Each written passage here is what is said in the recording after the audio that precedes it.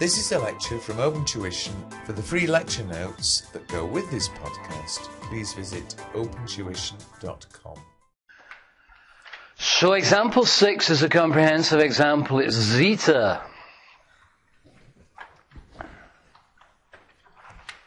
You've got two balance sheets, sorry, statements of financial position. You've got one comprehensive income statement. This will normally be shown. He has asked a question which was backwards.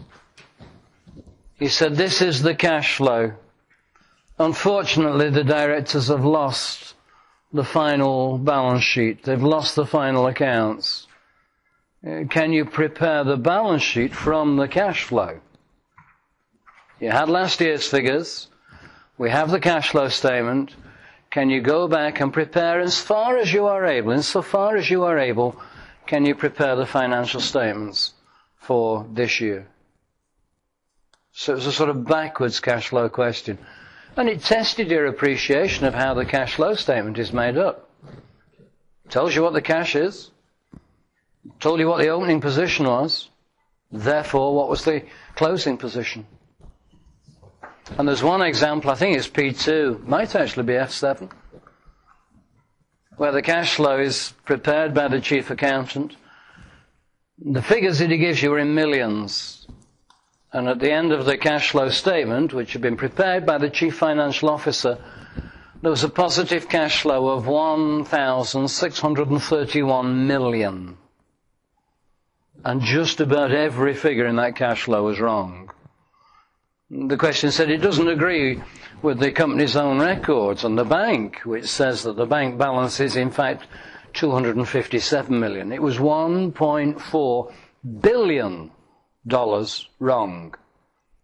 And the chief financial officer of this multi-billion dollar enterprise is asking you at F7 to tell him where he's gone wrong.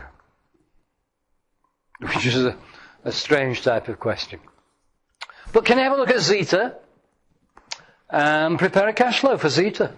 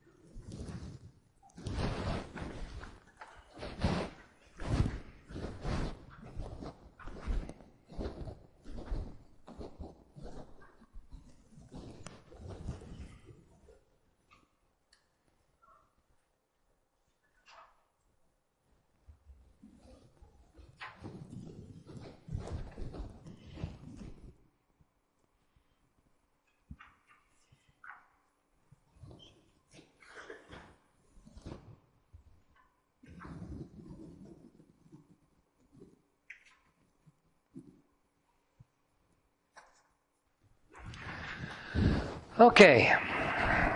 PBT, the place to start. Two of you got that wrong. Now, how's that possible? How's that possible? When it says profit for the year before tax, it says profit before tax. Really is no excuse for that. 723. Now, it always seems to me that when I'm doing these, it always seems that you start with profit before tax and then you work your way back up to operating profit. That's what it seems like. So the loss on the disposal of the asset would typically be shown within the, on the face of the statement of income. Uh, the interest charge would be shown as a finance charge. The investment income would be. So it always seems to me that you work your way back up. You clearly don't, because between operating profit and um, profit before tax, you'd have things like admin expenses and distribution costs. But those are actually included within the figure cost of sales and expenses. So I'm going to work my way back up to get to operating profits. I'm going to add back the interest charge of 110. And that gets me back up to operating profit. Now I know I'm going to have to take off amortization and depreciation and the loss on the disposal of the asset, and know I'm going to have to take off tax dividends and interest paid. I know I'm going to have to do the changes in working capital. So I know all of those are going to go up here. So let's do the depreciation. Now this is, this was a little bit upsetting for me because some of you had just got that far and then you stopped. You said, I can't work out the depreciation. Leave it. It's one mark. So many other easy ones to go for. Just leave it.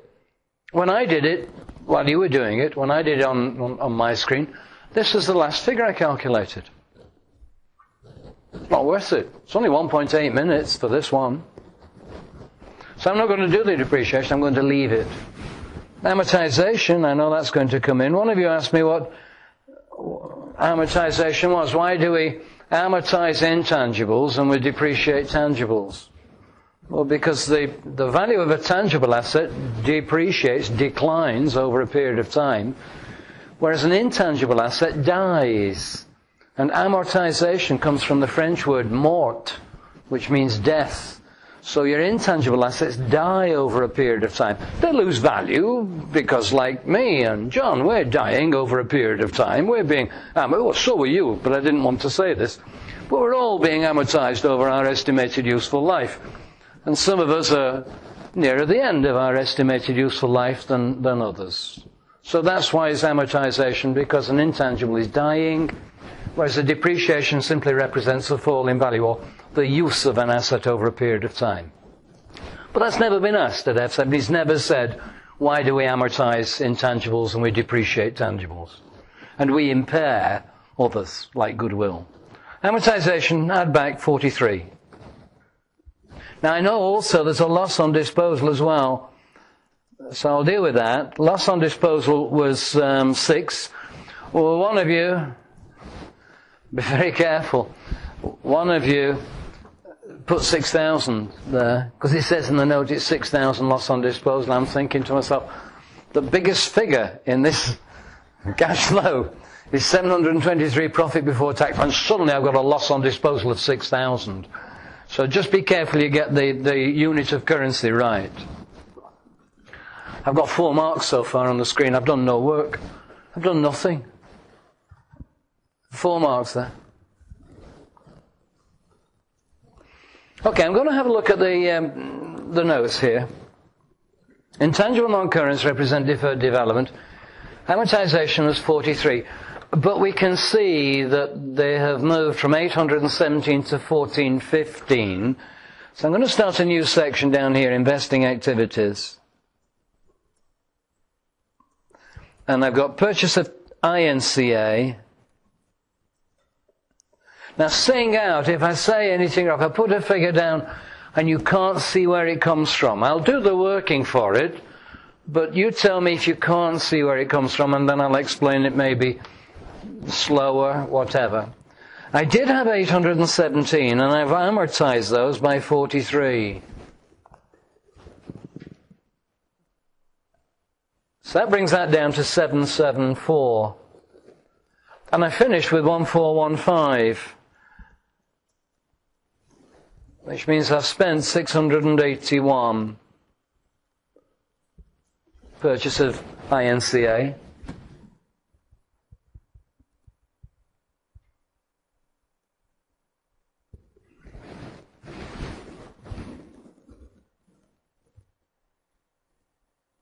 Seven seven four. Not six hundred eighty one. Six four one.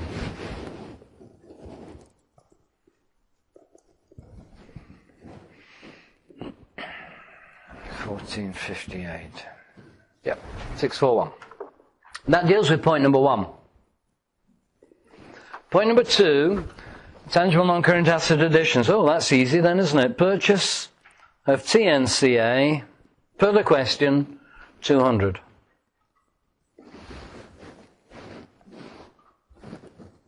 Proceeds were 103. One of you managed to make that 106. Why? Proceeds of sale, 103. That's cash in. And we suffered a loss of 6. If I received 103 and I suffered a loss of 6, what was the carrying value before I sold it? I'll give you two choices here. It was 97 or it was 109. Which one do you want? Natalie? 109, yeah. It had a carrying value of a 109. I sold it for 103, so I suffered a loss of 6. Well, we'll need that for the depreciation calculation, but I'm leaving the depreciation. It's too difficult. Investments include treasury bills of 32, acquired during 2004. Zeta sees these as cash equivalents. About half the room failed to realize that this is a cash equivalent. This is down at the bottom of the statement. It's cash and cash equivalents carried forward. I can't go down to the bottom because I don't really know how much space I've got. I don't have a sheet of A4 in front of me. I mean, I could if I was silly. I could go all the way down there onto page 9, but, but that would be silly. So I can't do my bottom three figures because I don't know where to write them.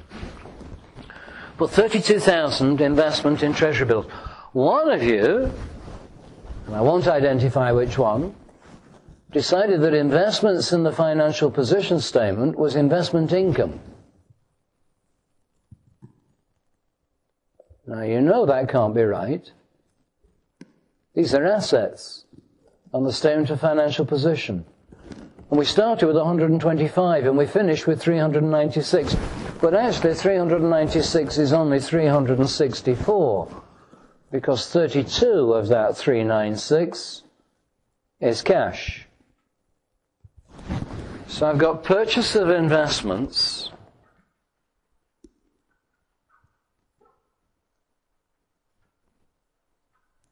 And I've gone from 125 to 364.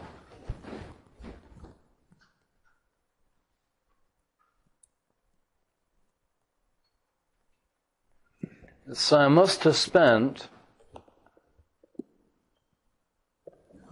so I must have spent 239.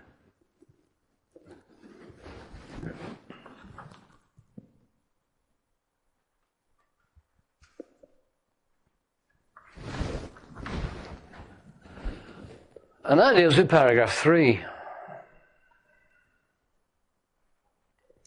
Paragraph 4, we've got a share issue, a bonus of 1 for 4, coming out of share premium, and then a further issue at full price. Now, I'm going to do a little working for that.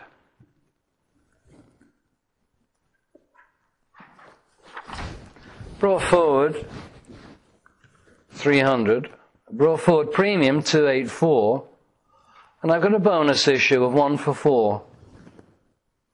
So there were 75 new shares coming out of share premium.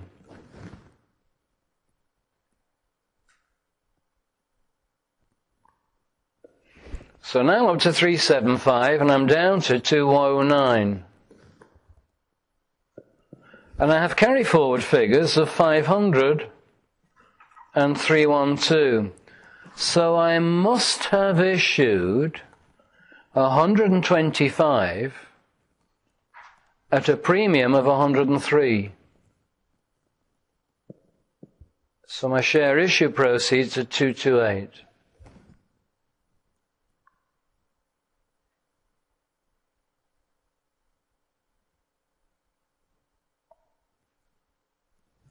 That's in financing activities. I don't have a space for financing at the moment. I'll just create one.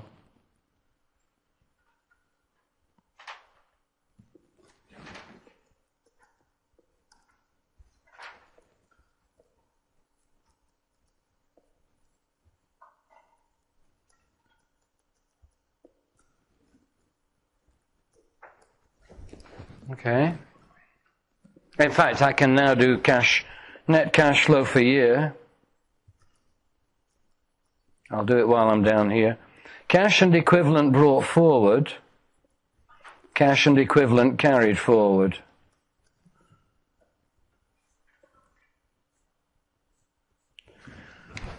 Cash and equivalent brought forward, straight from the last year's statement of financial position. Brought forward is 81. And carry forward is 17 plus the 32, which gives me 49.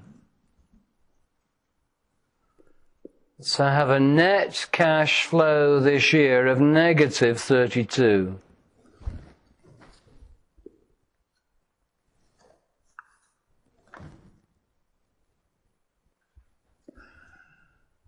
But that then deals with all the notes. The only thing I have to remember is when I'm calculating the depreciation, I need to remember note number two. But otherwise, the notes are dealt with. So let's get back onto the face of the, the statements of financial position. I've dealt with the intangible assets. This is the way I would do it in the exam. I've dealt with the intangible assets. I've not dealt with the tangibles, so I'll leave those for a minute. Current assets, inventory, receivables, investments, cash. Well, they're up here, aren't they? They're up here. A change in working capital. I've got a decrease in inventory. Is that cash in or out? It's in. A decrease in inventory, 82. I've got an increase in receivables, and this is how I would write it. I have an increase in receivables of 32. Is that in or out? It's out. Payables, a little bit of a problem, and I didn't mention it earlier, but if you look in current liabilities, I've got interest payable, dividends payable, tax payable, trade payables, it's the working capital, it's the trade payables that we're looking at. I'm not going to compare 925 total current liabilities with 936 total current liabilities because I deal with the interest and the dividends and the tax. I deal with those separately. So I'm only going to be looking at trade payables. And I have a decrease in payables of 12. In or out? Out. Okay, back up to current assets. Inventory I've now dealt with, receivables I've dealt with, investments I've already dealt with, and cash is at the bottom, so that's also finished. Equity shares, I've dealt with them. Premium, I've done that. Oh, revaluation account. Need to remember that when I do my depreciation calculation. Retained earnings, don't look at it. We've dealt with the retained earnings change with the 723. 723. Why is that not what it is? 402. Why is it that? Oh, because of the dividends and the tax. All right. So we've dealt with the retained earnings movement by taking 723 and then by dealing with the dividends and the tax as separate exercises. Provision for a court case. I'll show you a T account. Now, brought down a provision 50. Carried down, the provision is 73.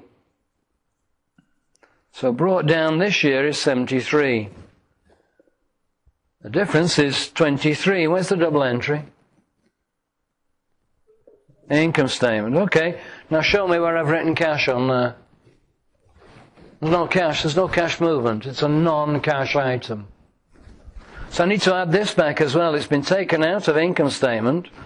So I've got a movement in the provision of 23.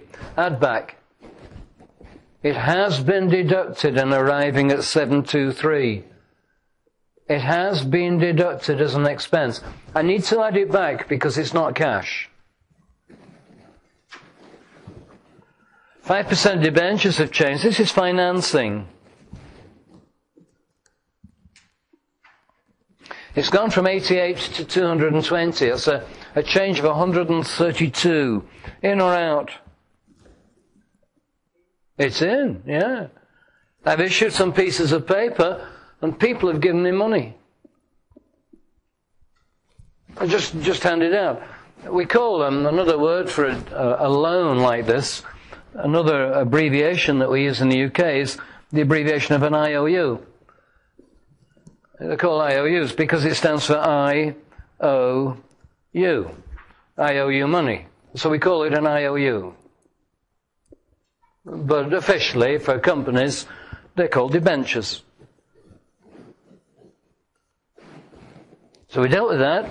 We're into current liabilities. We've got this last threesome in, in the operating activities. Tax paid, divs paid, interest paid.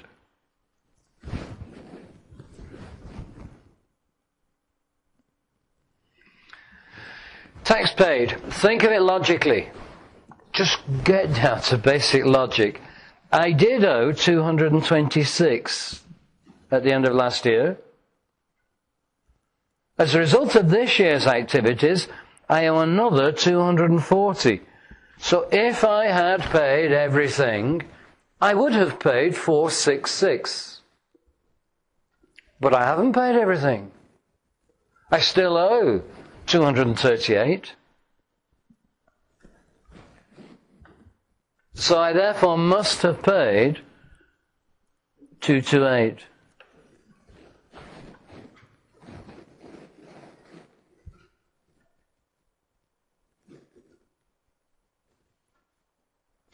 Dividends paid, I did owe 140. I've increased that by this year's dividend of 81. So if I had paid my dividends up to date, I would have paid 221. But I know I haven't. I still owe 81. So therefore I must have paid 140. In or out? Yeah, these last three, tax, dividends, and interest paid, just think about those. I mean, occasionally you'll get a tax repayment. But it is occasional. Dividends paid, it's got to be in brackets. You can't have dividends being received from your shareholders. Do you not think it's time you paid me a dividend, you say to your shareholders? It just cannot be. So dividend payment is always going to be an outflow. The same with interest paid, unless you've got a very friendly lender who not only lends you money but then also pays you interest. Happening in the UK at the moment, some people have got mortgages on their homes where the mortgage interest rate is fixed as a, an amount um, 2% less than the London Interbank official rate. Well, the London Interbank official rate is getting down to about 2%, about 2.5%, I think, or 2.25% at the moment. And if you've got a mortgage at 2% less than that official rate, you're paying mortgage interest of half a percent. What happens when the London interbank rate gets down to one and three quarter percent? It means the interest rate that you're being charged on your mortgage is negative quarter of a percent. This means, in theory, that the lender's going to start paying you a monthly amount by way of your mortgage interest. Well, there's a little bit of panic in the financial world in the UK at the moment with reference to these interest rates, which are two, fixed at 2% less than the London interbank rate. A little bit of panic going on. But interest payable, I started with 30 owing, and the year's charge is 110. I should have paid 140. But I know I haven't because I've still got 100 outstanding. Therefore, I must have paid 40. We're nearly done. Ah, what else do I have to do? Not much, I don't think, just depreciation.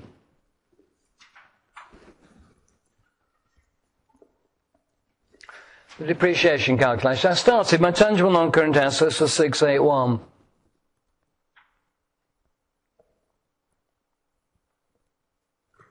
And I've sold 109's worth.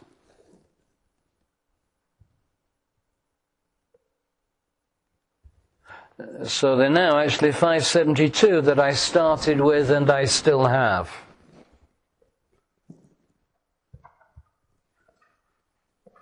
And then I looked at these assets and thought, I better buy some. So I bought 200 more. That gets me up to 772.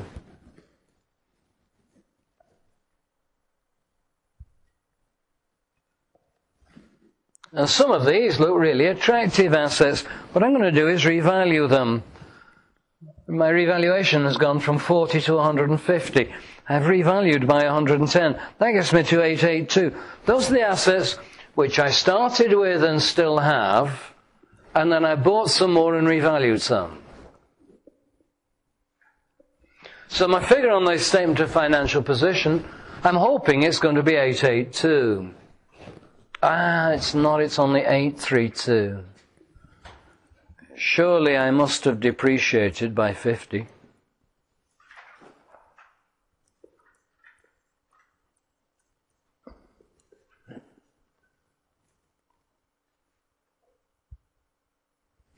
Depreciation 50. It's an add back.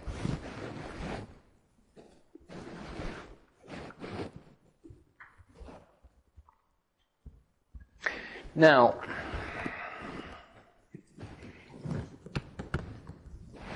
there are two schools of thought with reference to this next bit. When you're doing a statement of financial position, question one, the consolidation. When you're doing a statement of financial position, where are the marks? Where are the marks? I told you on Monday. Where will you earn the marks? And the workings. Yeah the fact that you can transfer the figures from the workings to a statement of financial position, well, they've actually given that exercise to a, the troop of chimpanzees in Frankfurt Zoo, and they managed, some of them actually managed to, to do that transfer properly. So it shouldn't be a problem, should it? Transferring assets, uh, transferring figures from workings to statement of financial position. How many marks do you think there are for adding up your statement of financial position? For proving to the marker that you're able to press the right buttons on your calculator? How many marks are there for adding up a statement of financial position? Uh, none. Okay. If there are no marks, why do it? If there are no marks available for adding it up, why add it up? Oh, to be sure that you haven't made a mistake. That you may have missed something.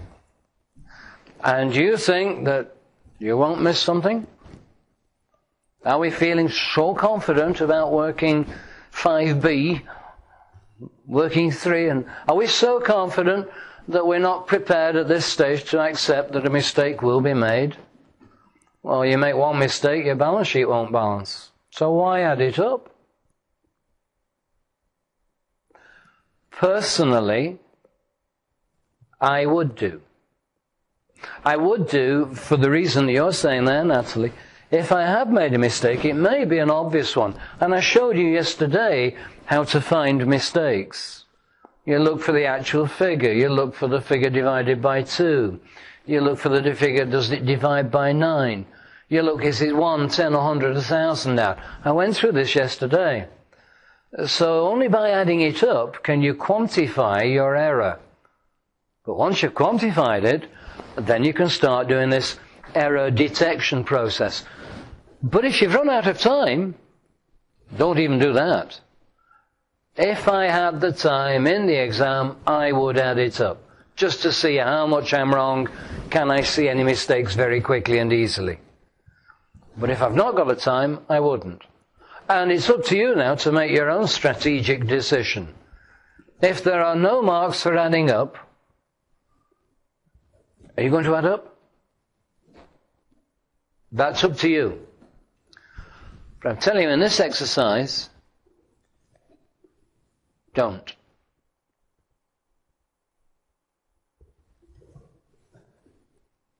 Don't add it up.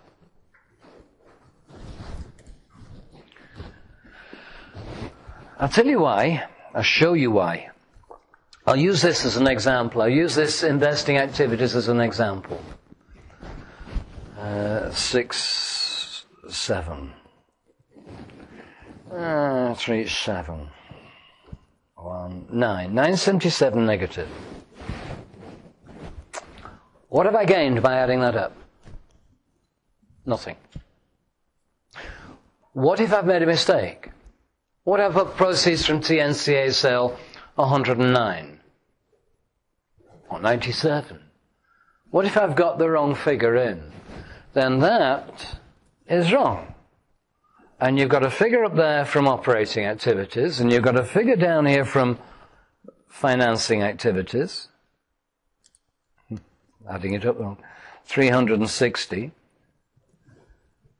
And the marker, bless him, has got the ability to just look down this extreme column and say, yes, that's right, 977 is right, 360 is right, the bottom figures are right. What if you've made a mistake? You're then actually pointing out to the marker that you've made a mistake. You're saying, look, I've made a mistake, don't know where it is, don't know what it is, it's up to you to find it, but I've made one, and you're telling him that you've made it. So don't put your addition figures in. He knows that's right. He knows that's right. You can see those are right. He can see these individual ones up here. He can see that these are right. By all means, add it up. But put your subtotals on your question paper until it balances, until it does come down to 32 negative. And then put your total figures in. But otherwise, don't do it.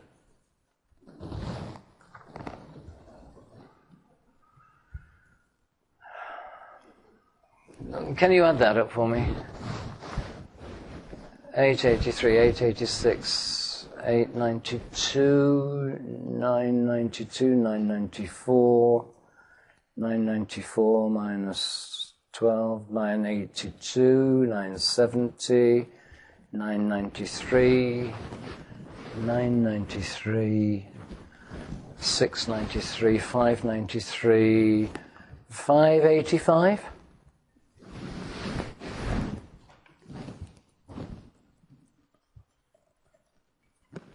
Now, hopefully, this will add up.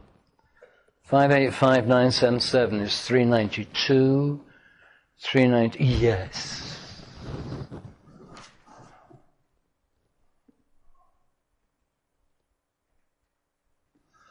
All right.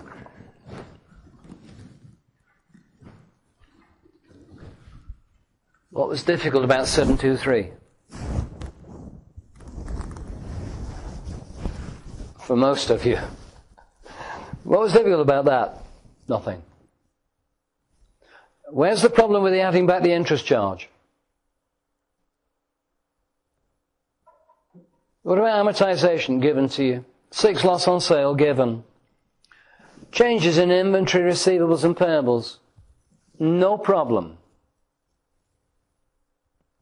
You might not have known. You might not have realized about the movement on the provision. All right. Not a big deal. Tax paid? Did anyone get that wrong? Interest paid, dividends paid. Did anyone get that wrong? You shouldn't have done. You might have done, but probably next time you won't. 641. Awkward. No, it wasn't Inca. It was straightforward. 641, wasn't it? 641 for the development expenditure. That should have been relatively straightforward.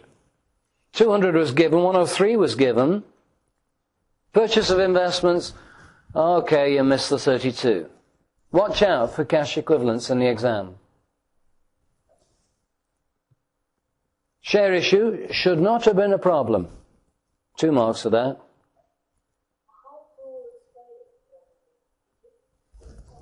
How do I explain? Um, like I like I did do there.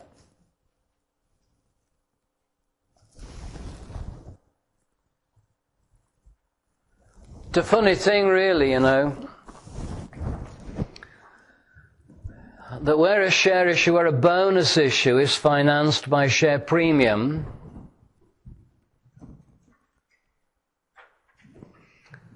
shares plus premium is 584. Shares plus premium is 812.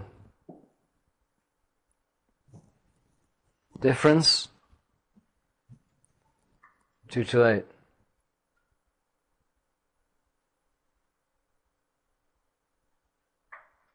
All I'm doing is moving that 75.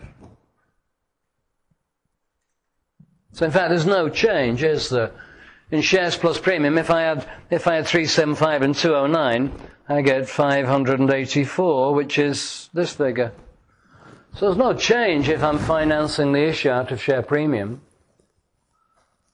But, and I don't know, but there could very well be a mark for that and a mark for that. It could be that when they're doing the marking scheme, if you're going to show the share issue proceeds and the premium separately, like I have done here, uh, then there could be a mark each. If you don't, and you get the right answer, uh, then you can presume, I assume, that you got both marks. But I wouldn't. I would, I would actually show it as 125 plus 103. That's what I would do. 132, there shouldn't have been a problem with that either. The in the debentures shouldn't have been a problem. And certainly these bottom three, apart from the, that 32, that shouldn't have been a problem. So, I told you at the start, it's basically one mark per figure that you get right. That's 1, 2, 3, 4, 5, 6, 7, 8, 9, 10, 13, 14, 15, 16, 17. That's 17 there. And there's really not been any effort. There's been, seriously, no effort. So what's the key? The key is take me into the exam room with you. But they won't allow that. The key is practice. Just get used to it. Get used to looking and knowing where to look for the movements, knowing how the movements happen.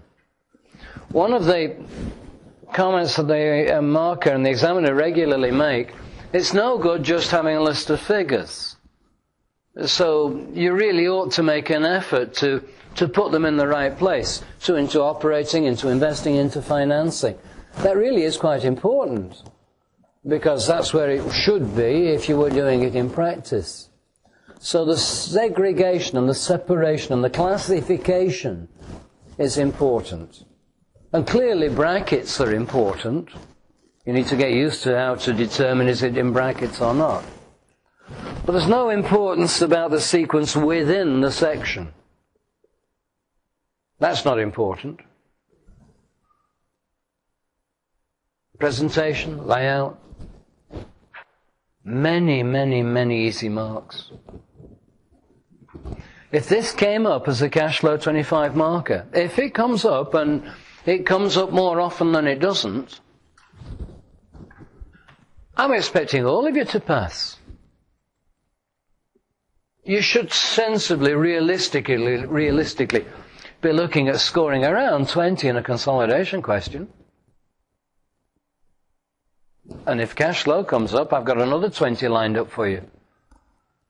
It's then going to be rather difficult. If you scored 40 out of 50, it's got to be a conscious effort not to get 10 more out of 60, out of the remaining 50.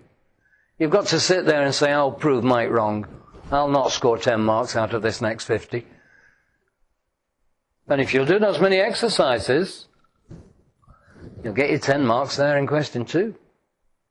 Without doubt, probably 20 marks in question two, if you'll do the many exercises, which I keep asking you to do. You've got a realistic chance of picking 60 marks up out of the first 75 within the time allocation. Do not spend longer because you've still got 45 more minutes to pick up marks in the 15 and the 10 marks. This exam, success in this exam is within your reach if you'll do the many exercises. Right. It could be as it was this last June, it could be that the question, question three, is a cash flow and an interpretation. Interpret that for me very quickly. Just interpret that for me.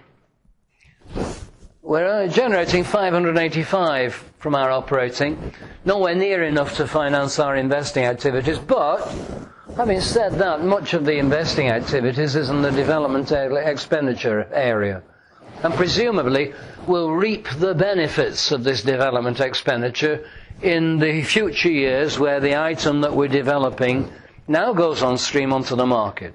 We've spent 641,000 developing this intangible non-current asset. When that starts to, to generate income and generate profits for us, then we'll get the benefit of it.